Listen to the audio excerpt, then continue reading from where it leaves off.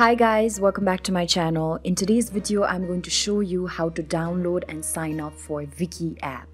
So if you want to watch a lot of Asian movies and a lot of Asian shows, this is the app for you. And in order to download it, first of all, go to your app store.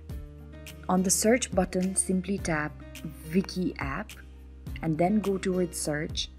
And here you will see the app. So simply tap on get in order to download the app after the app gets downloaded, simply tap on open. Now here you will see an option that says create an account or login. Now since you're the first time user, you need to sign up. So simply tap on create an account. And here you can either continue with Google, continue with Rakuten, continue with Facebook or continue with email. So I'm just going to tap on continue with Google. Here I'm going to allow Viki to use google.com to sign in. So simply tap on continue and then select an account.